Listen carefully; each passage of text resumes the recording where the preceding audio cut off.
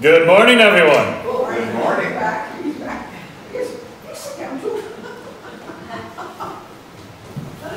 It's great to be able to gather on this beautiful fall day. The sun is shining, the leaves are coloring our eyes, and it is beautiful out. It's a nice day to be outside, and here we are inside worshiping God. So don't forget to spend some time outside. Enjoy God's creation, enjoy the blessing of friends and family. As we come together, let us enjoy God's holy presence as He comforts us, as He encourages us, and calls us into worship this morning. As we come together, let us remember uh, the congregation and leadership of Kenyon Presbyterian Church in Dunvegan as we uh, continue to pray for our presbytery. Let us turn our attention to the call to worship. The grace of the Lord Jesus Christ, the love of God, and the communion of the Holy Spirit be with you all. God is present with us as we meet together with family and with friends.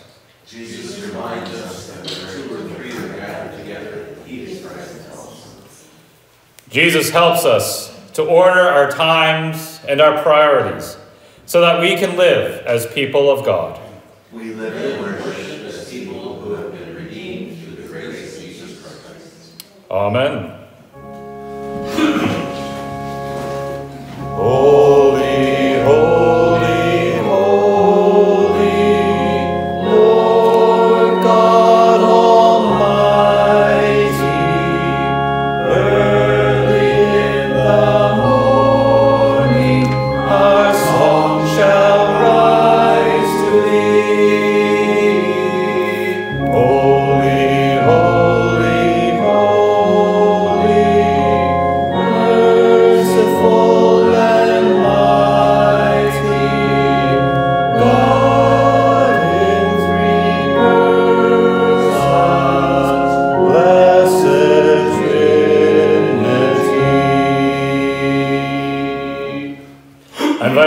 Standing as we sing hymn number 374, Oh, for a thousand tongues to sing.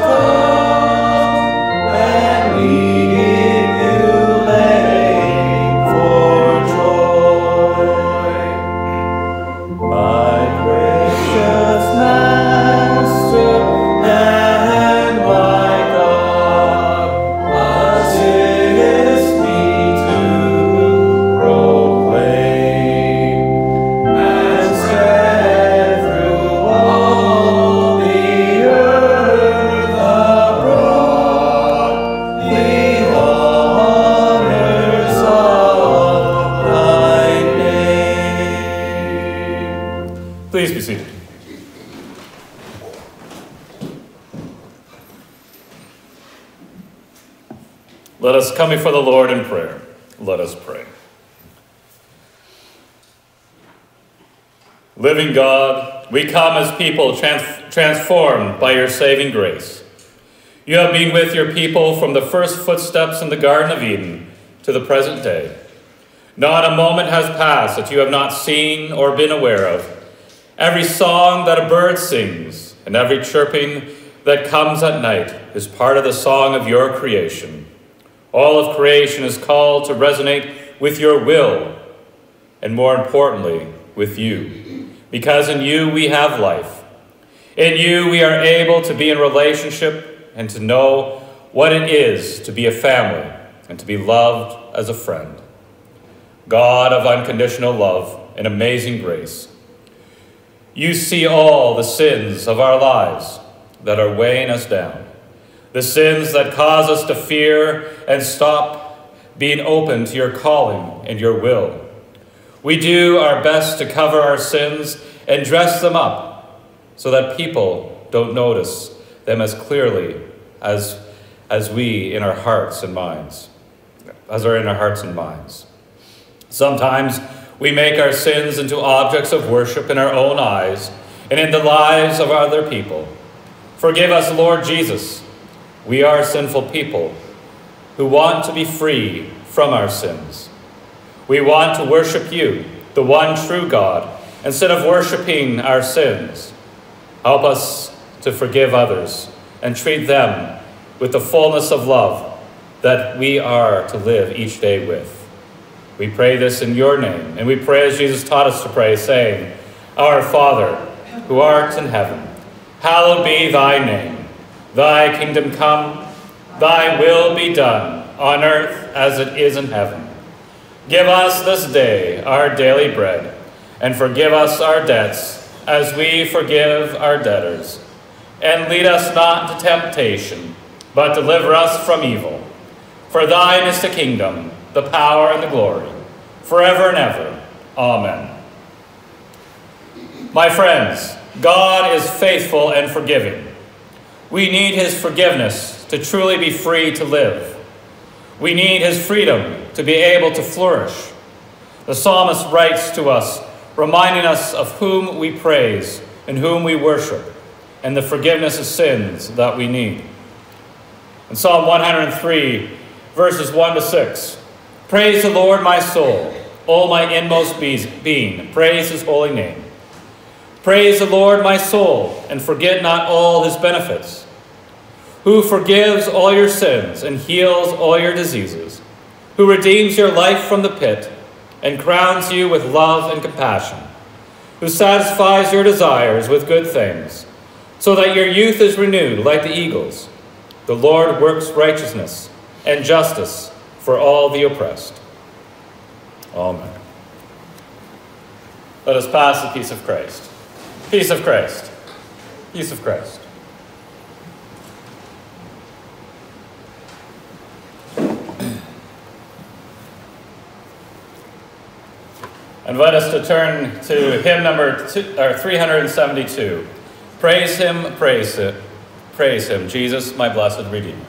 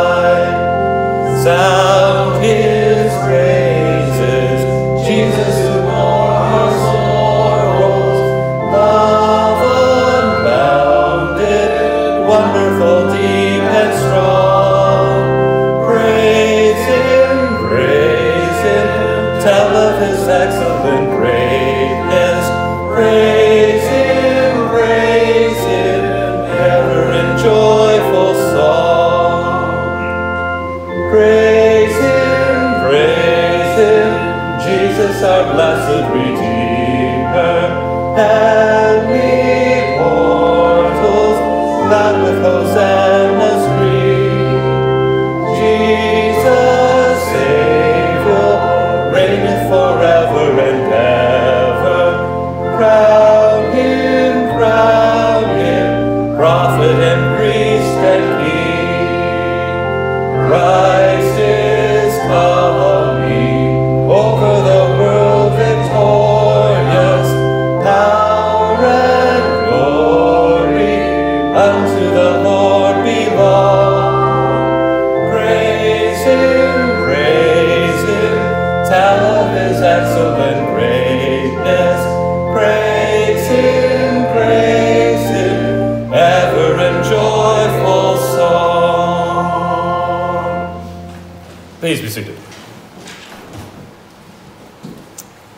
Let us once again come before the Lord in prayer.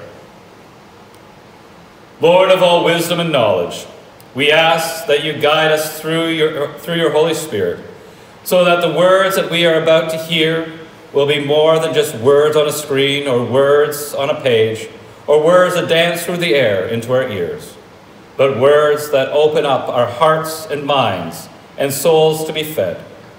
We want your words to be felt in our bodies, not just seen.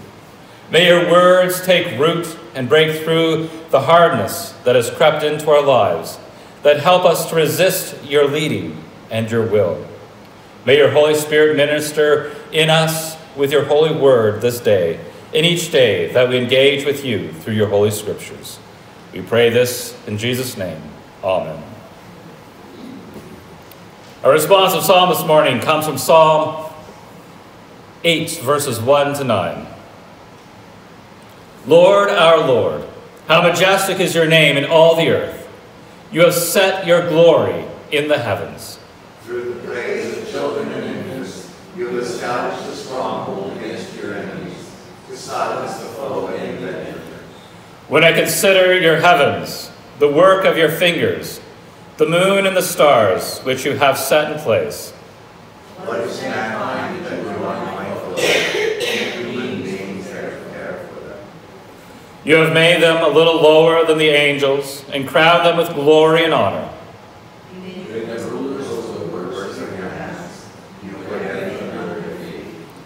All flocks and herds and the animals of the wild, Birds of the sky and fish in the sea, all that swim in the paths of the seas. Lord our God, our Lord, how majestic is your name in all the earth. Amen. I'd like to invite Kathy to come forward and to read from Mark chapter 10, verses 1 to 16.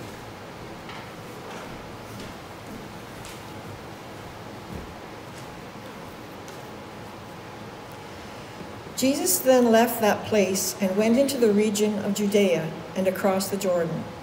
Again, crowds of people came to him, as was his custom. He taught them. Some Pharisees came and tested him by asking, Is it lawful for a man to divorce his wife? What did Moses command you? He replied. They said, Moses permitted a man to write a certificate of divorce and send her away. It was because your hearts were hard that Moses wrote you this law, Jesus replied. But at the beginning of creation, God made them male and female. For this reason, a man will leave his father and mother and be united to his wife, and the two will become one flesh. So they are no longer two, but one flesh. Therefore, what God has joined together, let no one separate. When they were in the house again, the disciples asked Jesus about this. He answered, Anyone who divorces his wife and marries another woman commits adultery against her. And if she divorces her husband and marries another man, she commits adultery. The little children and Jesus. People were bringing the little children to Jesus for him to place his hands on them, but the disciples rebuked them. When Jesus saw this, he was indignant. He said to them, Let the little children come to me, and do not hinder them, for the kingdom of God belongs to such as these. Truly I tell you, anyone who will not receive the kingdom of God like a little child will never enter it. And he took the children in his arms, placed his hands on them, and blessed them. Thanks be to God for this reading of his word. Amen.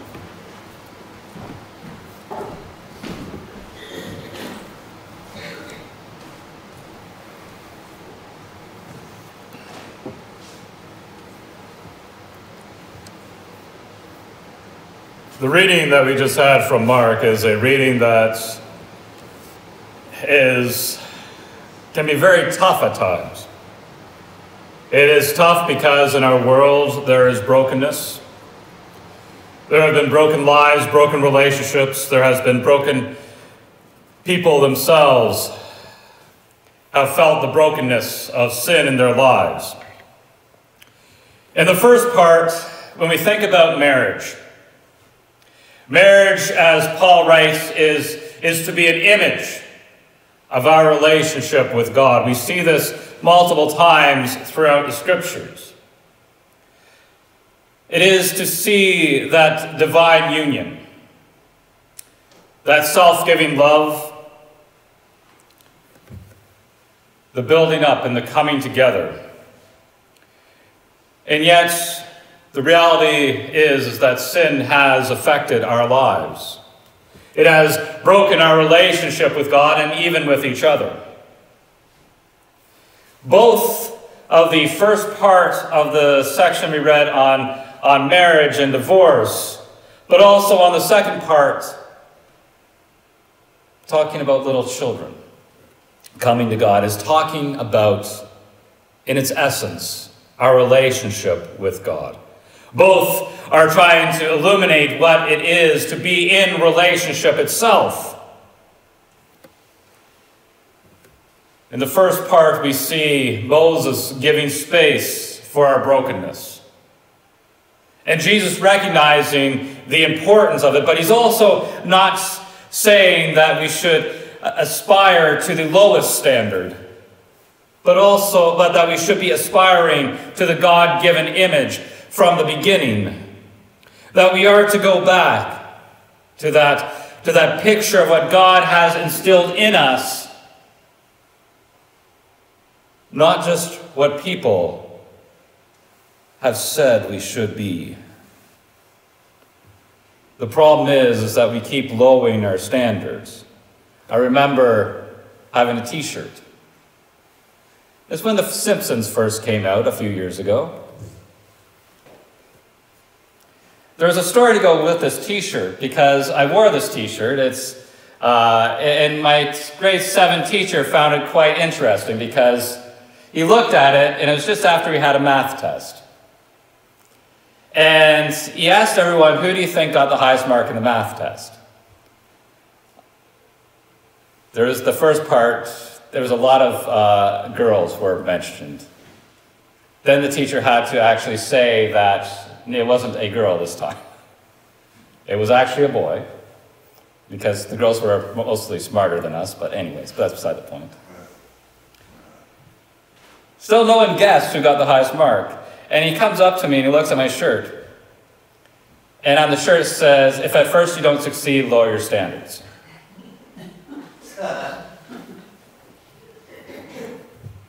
yes, I was the one who actually got the highest mark of the class.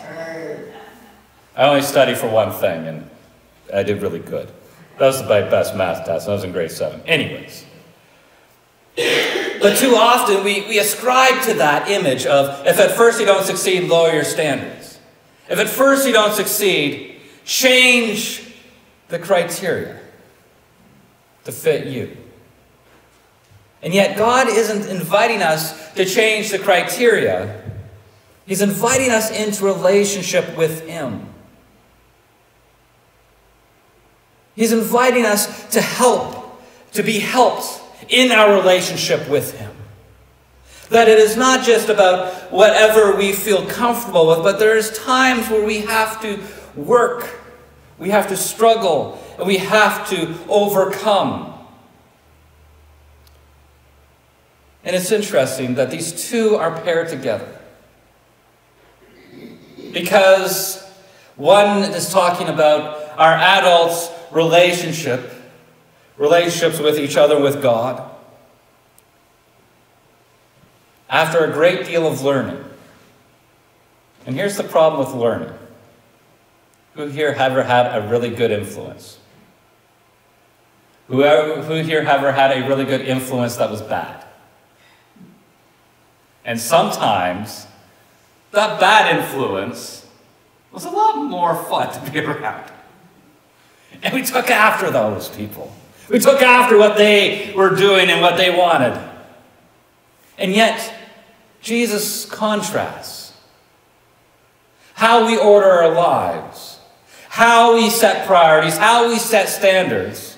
And he says, Truly I tell you, anyone who will not receive the kingdom of God like a little child will never enter it. The beauty of little children is that, for the most part, they haven't learned all our bad habits yet. I say yet because they're very observant. I, have a few kids that repeat things at the most inopportune times. And it's like, where did you get that? And they point. They're very honest at times, too. They haven't learned what it is to fear. The fear not having enough.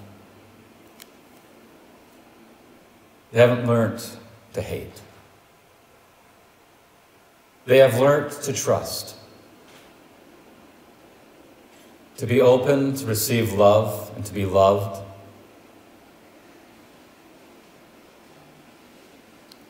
They've, they're open to that deep relationship that sustains their lives.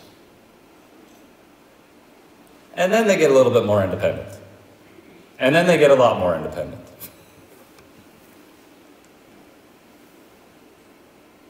But Jesus is saying, have that freedom. Have that freedom to love and be loved. Have that freedom to experience God's grace. Have that wonder and curiosity and that desire to be in God's presence.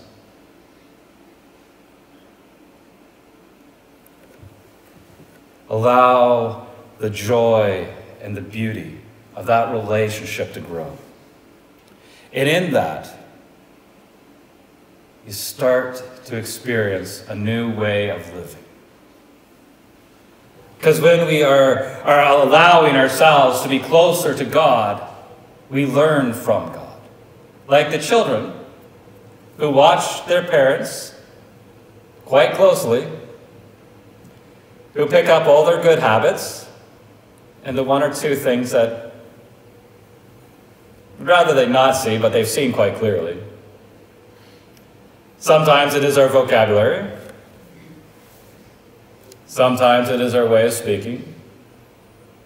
Sometimes it is our sarcasm. Sometimes it is even our way of fearing.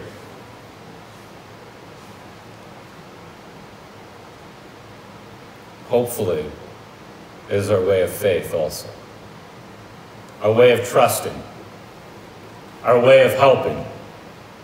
And hopefully we have spent enough time with Jesus that we have learned from him.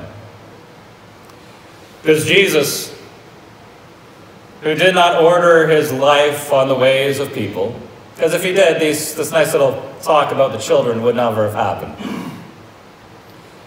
Because the disciples rebuked the parents at first.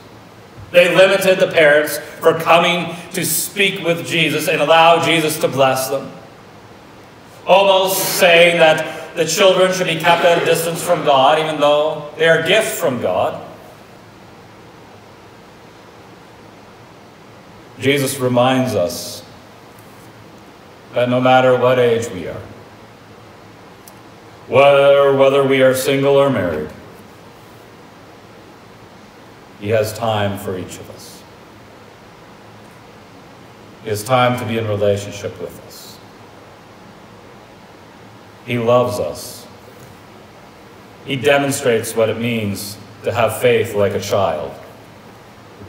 He demonstrates what it means to have that strong relationship with his Heavenly Father. He demonstrates what it means to not just strive for the lowest possible standard, and if you don't meet that,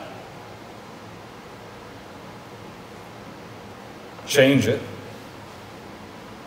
He invites us to set our standard on God, to set what it means to be loved on the one who has given and who has shown us what love is. What it means to be more than just ourselves, just people, but to be true children loved by God, children of God. To be children who are brought together in faith, who are called to live out this faith each and every day, to be able to walk in the ways of Christ, to be able to teach and allow others to see Christ in us and through us. Not to glorify ourselves. In other words, saying, Look at me, but to look at Christ. Allow people to see the love of God that transforms our hearts, our minds, our bodies, and our souls. That gives us that security to truly flourish to thrive, to grow, to be a blessing, to bring hope into the world around us. God recognizes our hardness of heart. God recognizes our struggles. God recognizes the problems that we face.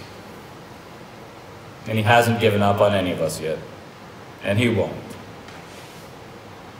He invites us into that deeper relationship where we can walk with His strength, where we can walk in His love, walk with His faithfulness, that we might truly be children of God, each and every day of our lives. Amen. Alrighty. Announcements. Bible study tomorrow at 10 o'clock.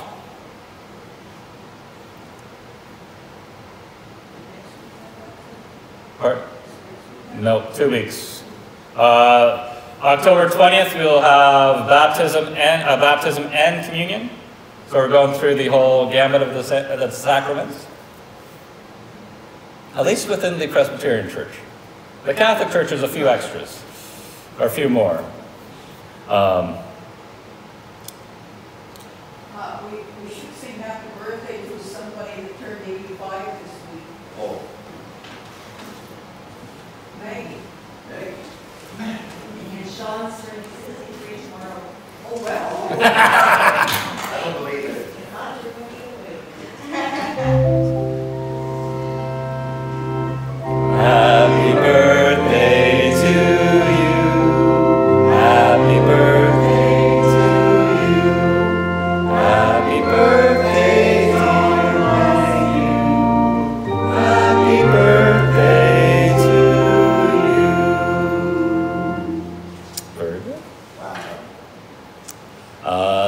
October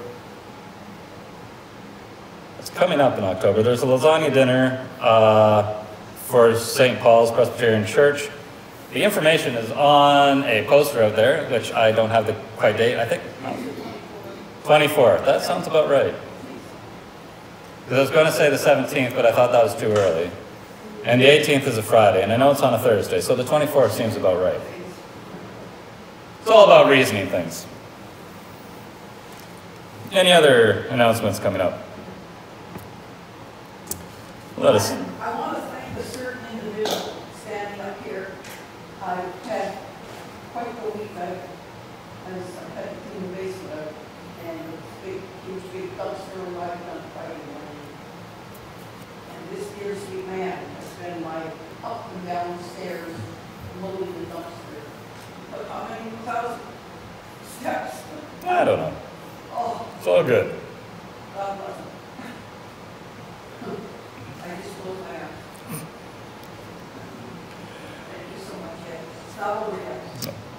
We're getting there. Let's take a moment in prayer. Gracious God, we thank you. We thank you, Lord, for your blessing. We thank you, Lord, that you that you call us into something more. That you don't just leave us where we are in our struggles, in our brokenness. But you invite us into the deep healing relationship that comes from being, being with you. Lord, you have blessed us with your grace. You have blessed us with Jesus. You have shown us what it means to be loved. And you help us to love, to love each other, to love you, to love ourselves also. Lord, help us through our daily struggles. Help us to be faithful to you, to not just lower the standards for our own liking, but to truly seek to follow you with all of our heart, mind, body, and soul, with all of our strength, with all of our being. That we might glorify you and allow you to be seen in and through us. Gracious God, help us. Help us to wash away our sinfulness, to be able to see others as you see us, to be able to walk in your ways in the fullness of life, to be able to experience your grace and your mercy. Lord, we, we thank you for, for each day that you bless us with.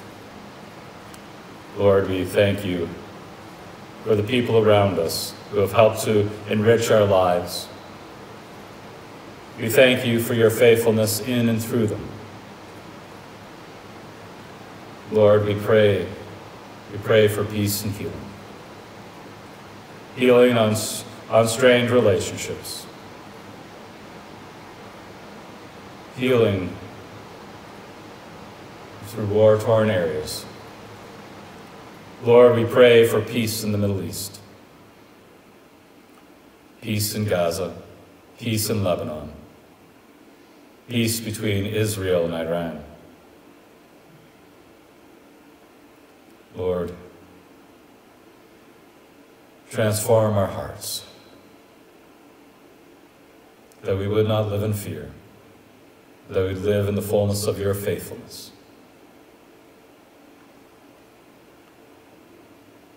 We pray all of this in Jesus' name. Amen.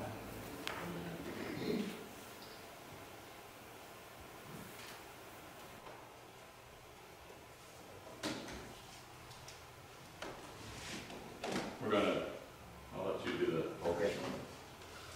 Uh, Our mission moment today, um, Chanda Kumari is a 16-year-old girl living in a rural village in India. She's the eldest of five siblings, and the financial strain weighs heavily on her family. Amid these daily struggles is the threat of child marriage, which remains a common practice in her village. Financial and social pressures, pressures led Chanda's parents to consider marrying her off despite her age. This all changed when her mother attended a community awareness session on child marriage hosted by PWS&D's local partner. Chanda's mother shared with her husband what she learned during the session. Armed with knowledge about the legal age for marriage and the detri- detrimental effects of child marriage, they decided to prioritize Chanda's education and seek other financial resources to prevent her early marriage.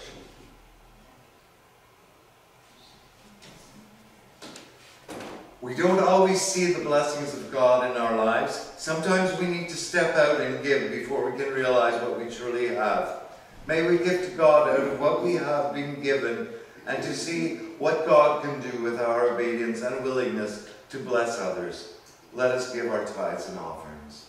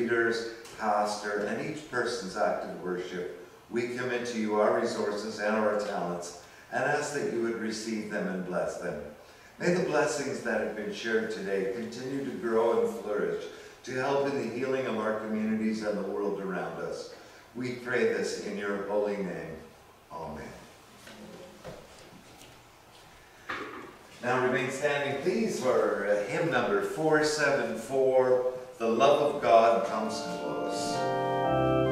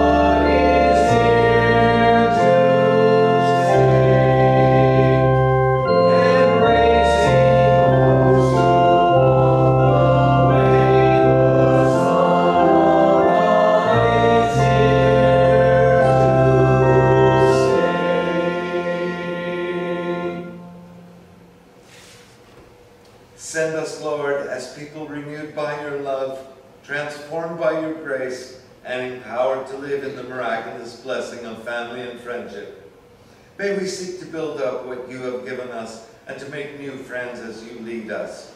Send us in the name of the Father, and of the Son, and of the Holy Spirit. In Jesus' name, Amen.